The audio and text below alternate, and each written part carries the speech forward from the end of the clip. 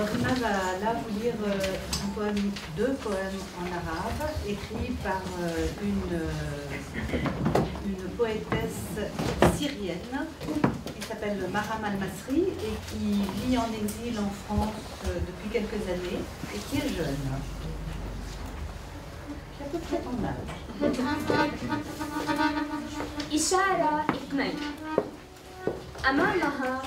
أسجد عاشقا ولها بتواضع كياني بكل ما نحته لي العمر من معرفة. أدعوها أتوسل إليها أن تستسلم. أتخلص من الزوائد القشور التي تثقلني. أخلع الجسد مكتفية بالروح التي تسكن الهيكل Signe 2. Devant elle, je me prosterne, amoureuse et prise dans la modestie de mon humanité, avec tout ce que l'âge a inscrit en moi de connaissances. Je l'appelle, la supplie de se soumettre, je me débarrasse de l'inutile des écorces qui m'alourdissent, je retire le corps pour me satisfaire de l'âme qui habite le temple de mes os.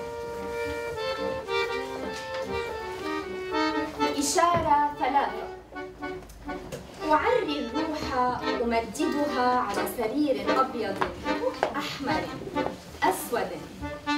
أنظر إليها بعين مرتبكة ثم أمعن النظر لا خجل لا خوف من القبح والجمال. أريد أن أعرفها. أن تكون شاهدا لمرور الحياة بمرور الموت. أضعها كعمود سمعان بمواجهة الرياح الأربع. والريح الخامسة الهابطة من السماء النازلة كالصواعق Signe 3.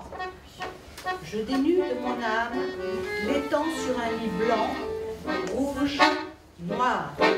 Je la regarde d'un œil indécis, puis la fixe sans honte, sans peur de la laideur ni de la beauté. Je veux la connaître, qu'elle témoigne du cours de la vie, du cours de la mort. Un pilier de Siméon le stylite, face aux quatre vents et au cinquième vent qui descend du ciel et tombe.